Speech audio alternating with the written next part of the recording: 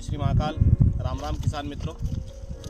मैं Dharmendra Pawar Keval Shiv marketing venture LLP, Vadodara, Gujarat से।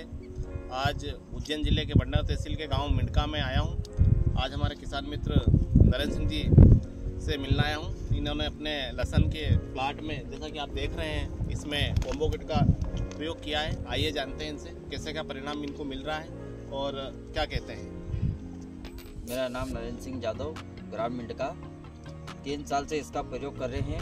लक्षण लहसुन अच्छी वेराइटी की निकल रही है। प्याज में भी डाला था इसको और प्याज का भी अच्छा रिज़ल्ट मिला और आगे भी इसको डालते रहेंगे।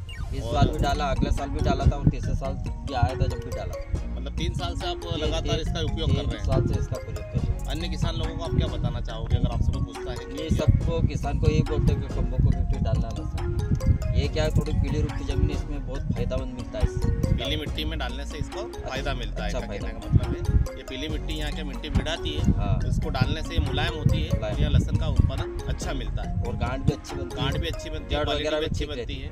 और अभी भी इन्होंने लहसन अच्छे रेट में बेची है। हाँ। मंडी में हाइएस्ट रेट में इनकी लहसन बिकती है।